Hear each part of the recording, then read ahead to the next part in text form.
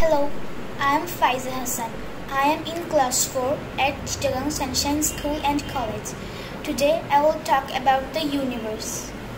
The universe is all of the space and time and their contents including planets, stars, galaxies and all other forms of matter and energy.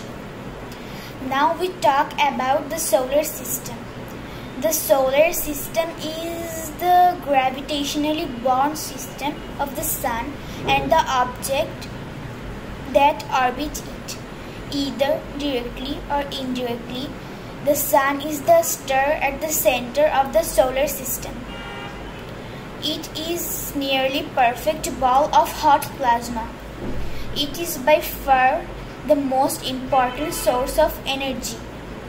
Life of Earth we know that in the space, a planet is a large object that moves around the sun.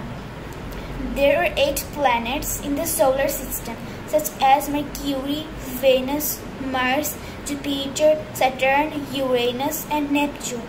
A planet does not produce light its own. We know that our Earth is one of the planets on the solar system. The moon is the only natural satellite of the earth. It is the largest natural satellite in the solar system that moves around our planet Earth. There are uncountable of galaxies and stars in the universe. No one knows for sure how big the universe is. Scientists believe that the universe is expanding with the time. Thank you.